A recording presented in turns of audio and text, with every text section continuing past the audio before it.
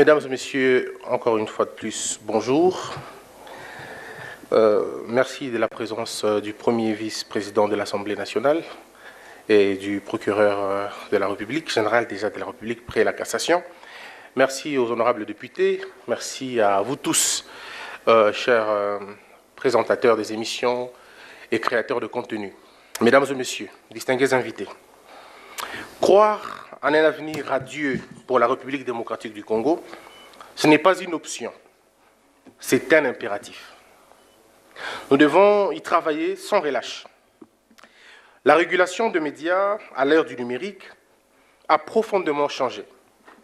Les lignes ont bougé, les temps ont changé. Les notions autrefois fondamentales comme la communication, le journalisme, la presse, et les médias ont subi les rigueurs de l'évolution. Aujourd'hui, ces concepts n'ont plus la même portée qu'avant l'ère du numérique. Cet univers a radicalement transformé nos vies et notre perception de la réalité, modifiant donc nos rapports interpersonnels.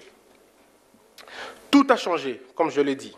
Aucun secteur de la vie n'est épargné par le règne sans partage du numérique. Nous devons l'avouer donc, il est désormais impossible de vivre sans le numérique. Aujourd'hui, avec un simple smartphone, ça suffit pour entrer en contact avec le public. On n'a plus besoin de faire des grandes écoles de communication pour communiquer. Un simple téléphone suffit pour créer une chaîne YouTube en un seul instant. Donc plus besoin de faire des grandes études pour, donner une information. La nuance se trouve entre les journalistes professionnels et ceux qui font de façon euh, euh, pondérée, qui donnent des informations. Chaque jour, nous constatons nous-mêmes, et nous subissons d'ailleurs, le méfait de ce que nous pouvons considérer comme l'inaptocratie. Comme le disait autrefois Umberto. Alors, face à cette montée de la délinquance et de l'immoralité sur les réseaux sociaux, est-ce que nous devons rester silencieux? Est-ce que nous devons nous accommoder? Souvenez-vous de notre grand auteur qui disait c'est plutôt à la foule de suivre l'élite et non l'inverse. Est-ce que nous devons nous taire face à cela? Absolument pas. Et c'est pour cette raison que cette campagne, que nous estimons cruciale, est mise en place, tel un traitement de choc face à une situation aussi grave. Même si les pratiques et les attitudes ont évolué, le principe de régulation reste le même. Mais comme vous pouvez le remarquer, la RDC n'a pas échappé à la crise causée par l'érosion de l'éthique qui caractérise notre époque. Les réseaux sociaux, on vient de le dire tout à l'heure, les réseaux sociaux, qui devraient en principe rapprocher les gens, assainir nos communications. Ces réseaux sociaux se sont tristement transformé en un foyer d'immoralité. C'est devenu une arme de destruction des communautés. C'est devenu des véhicules de discours clivants. Et parfois même, des guerres se passent dans les réseaux sociaux. Ce sont des mots qui nous rongent aujourd'hui et nous ne pouvons pas faire semblant de ne pas le voir. Dans le domaine de l'information, parlons-en, les fake news ont remplacé l'information authentique.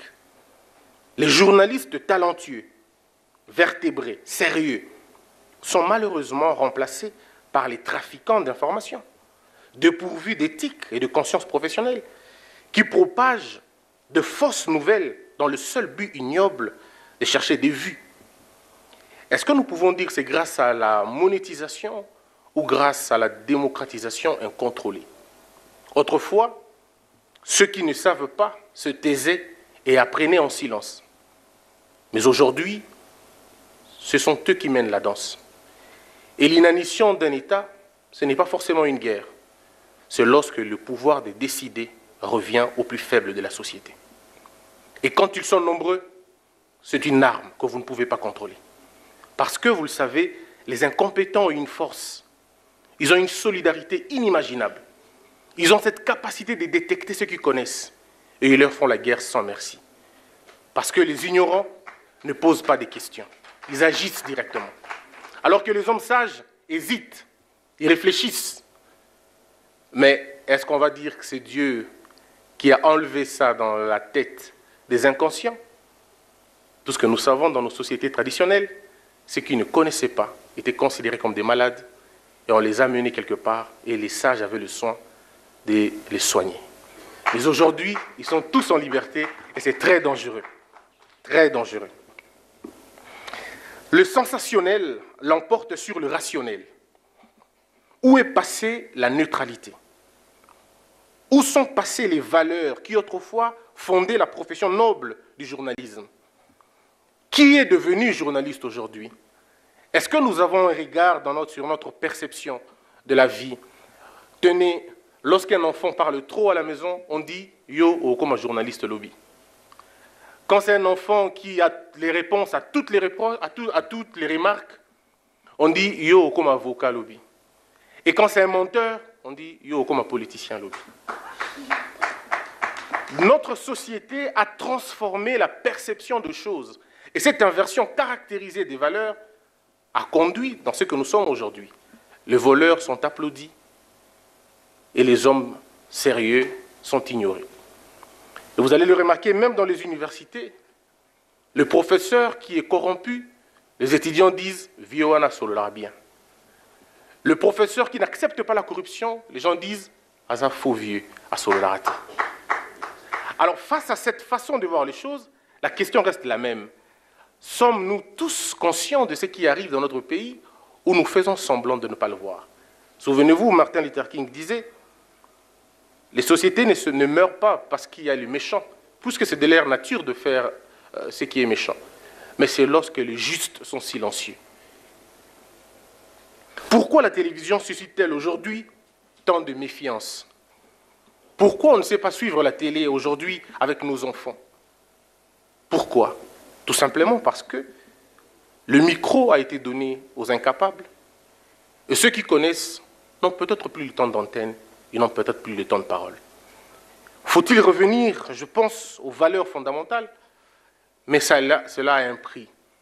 Le prix, c'est la rigueur et la discipline. Sans la discipline et la rigueur, ce pays ne pourra pas se relever. Et faites très attention lorsqu'un roulage est applaudi par tous les usagers, cela ne peut pas forcément dire qu'il est bien. Peut-être qu'il est très complaisant. Et lorsque le régulateur est applaudi par ceux, qui doivent, être régulés. Donc il y a une sorte de complaisance.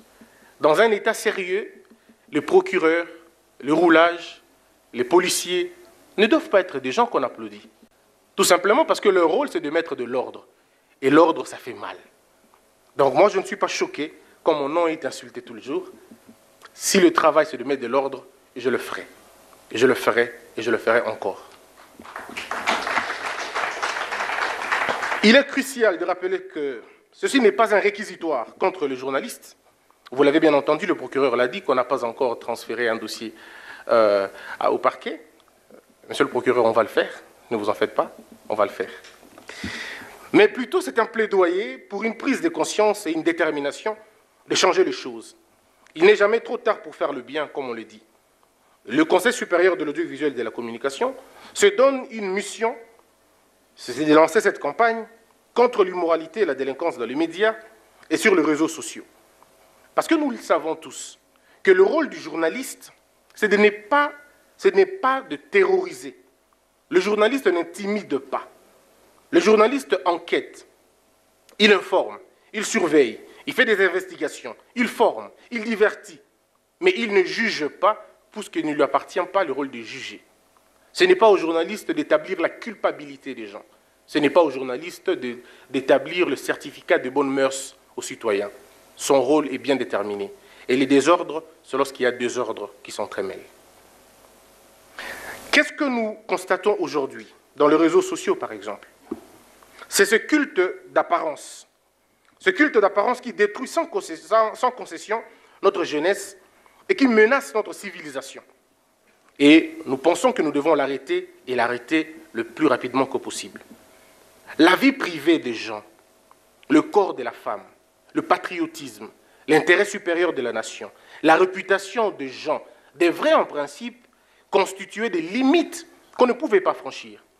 Mais qu'est-ce que nous constatons sur les réseaux sociaux, par exemple?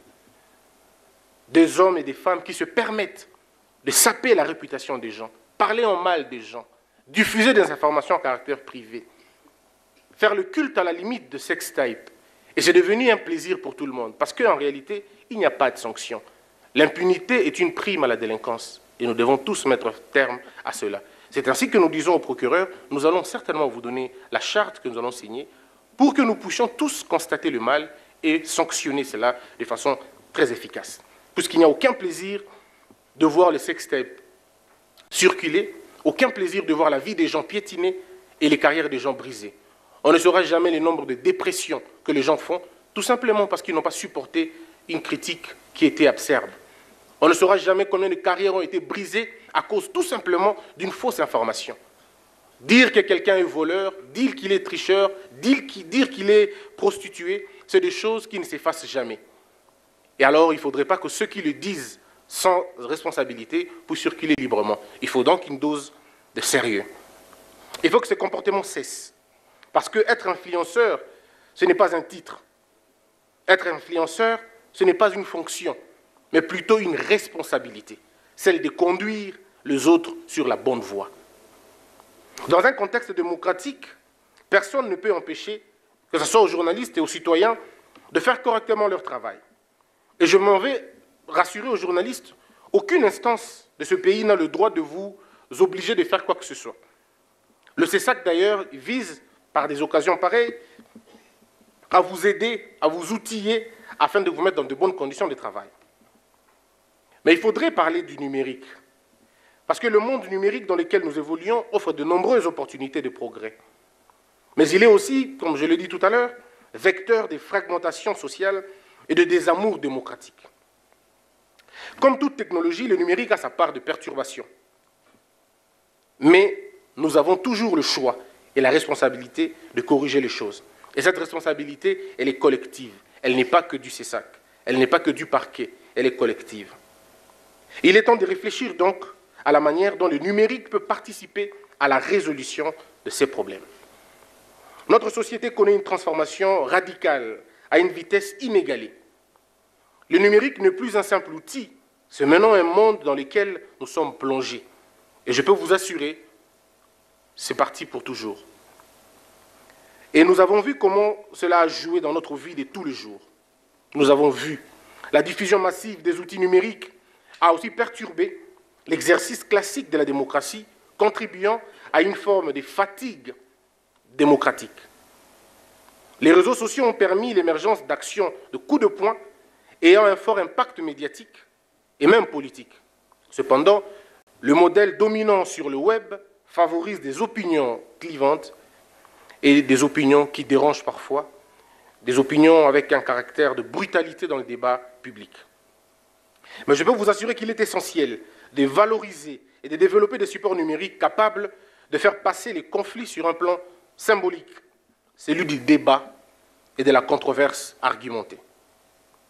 Une démocratie plus participative grâce au numérique est possible, mais elle nécessite une régulation et une formation appropriée pour que chacun puisse décrypter et comprendre ce nouveau euh, monde. je terminerai par vous dire ceci. Au sujet de la citoyenneté numérique, comme vous le voyez sur le panneau, deux notions voient le jour maintenant. La notion de la citoyenneté numérique et la notion de la culture du numérique. La culture du numérique est essentielle pour le gouvernement et pour nous, régulateurs. Mais alors que la citoyenneté numérique est cruciale pour les utilisateurs de réseaux sociaux. La citoyenneté numérique implique la responsabilité des utilisateurs dans la création de leur contenu et le respect de l'éthique dans leurs interactions en ligne. Bien que le problème du moralité et de délinquance sur les réseaux sociaux soit des défis, je peux vous assurer que la réponse ne doit pas être, comme dans certains pays africains que je ne citerai pas, la réponse à la délinquance des réseaux sociaux, ce n'est pas la fermeture ou la coupure d'Internet. Ce qui contredirait la vision de la liberté d'expression prônée par le président de la République, et ce qui va même aller à l'encontre de nos missions du CESAC, puisque nous sommes une institution d'appui à la démocratie. Mais par contre, la délinquance des réseaux sociaux, puisqu'on l'entend souvent, Pourquoi on ne ferme pas TikTok? Pourquoi on ne ferme pas Facebook? Ou pourquoi on ne ferme pas les réseaux sociaux? Je peux vous assurer, ce n'est pas parce que votre maison sointe que vous devez la détruire. Cherchez là où il y a la faille et, et arrangez. Au lieu de cela, ce que nous proposons, c'est plutôt de trouver des mécanismes de contrôle efficaces et de surveillance pour transformer la citoyenneté numérique en réalité afin que ça ne soit plus tout simplement un slogan. Concernant la culture numérique, la culture du numérique, elle englobe un ensemble complexe de compétences, des valeurs, des pratiques, d'attitudes nécessaires pour intégrer efficacement les technologies numériques dans la vie quotidienne. Et cela inclut la maîtrise des outils, la promotion des valeurs telles que l'ouverture et la collaboration, ainsi que l'engagement dans un processus d'apprentissage continu pour s'adapter aux évolutions technologiques. Je termine avec deux questions. C'est des questions importantes. Puisque nous entendons souvent les gens dire c'est mon réseau, c'est mon compte privé et c'est seulement privé. Posons-nous la question à partir de quel nombre d'abonnés un compte cesse d'être considéré comme privé? Est-ce que celui qui a un million de followers ou d'abonnés, est-ce qu'il est forcément privé? Est-ce que nous avons l'impression que son mot ou euh, ses idées ne peuvent pas corrompre autant de personnes? C'est une invitation à la réflexion. Et la deuxième question, comment pouvons-nous arriver à régler définitivement ce problème? Puisqu'il y a des comptes qui ne sont pas au Congo, des comptes qui émettent à partir de l'étranger. Ils sont hébergés ailleurs. Comment développer une intelligence pour arriver à mettre le pays à l'abri, mais surtout les citoyens qui sont ici à l'abri aussi? Donc ce sont des questions importantes que nous devons poser. Voilà pourquoi nous disons que apprenons à débattre pour éviter de nous battre. Et c'est très important pour nous tous. Je vous souhaite donc une très belle campagne, si, je peux le dire, aux journalistes et aux, créateurs de contenu. Soyez-en sûrs, si vous avez un défenseur, c'est le CESAC. Et le CESAC fera un effort pour vous mettre dans de très bonnes conditions. Le CESAC, ce n'est pas un père fouettard, mais comme vous le savez, nous n'hésiterons pas quand il faut mettre l'ordre et la discipline. Que Dieu bénisse la RDC.